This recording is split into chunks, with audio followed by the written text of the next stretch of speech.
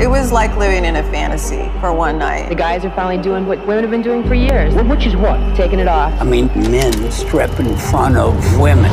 I thought it was the stupidest idea I've ever heard. There it is, Chippendales. Every single night was packed. They came up to you, they kissed you. Oh my God. It was exhilarating. Every night was different. There was a lot of drinking, lots of drugs. You got hit on. I ended up inviting the cop home. Chippendales was our place. Things had evolved from a small club to this huge empire. Steve Banner took Paul Snider's idea and turned it into something big. Now we had lighting cues, music cues. The Chippendale. We're not doing Cats or Hamilton. It's a fucking burlesque show for women.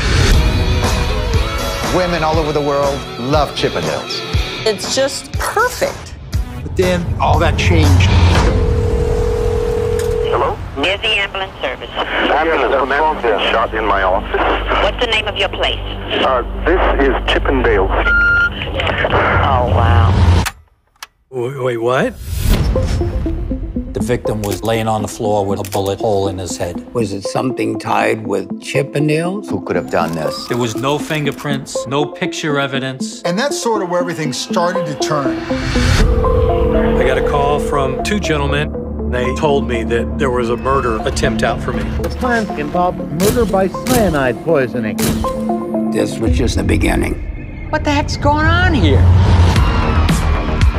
The bigger we got, the more the problems piled up. It got crazy. I'm gonna make life fucking miserable for you. You gotta be kidding me. Were you in the house when the bodies were discovered? Yes. What?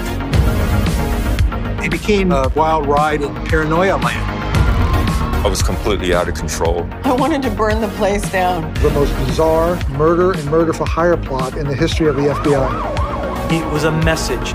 Don't mess with Chippendales.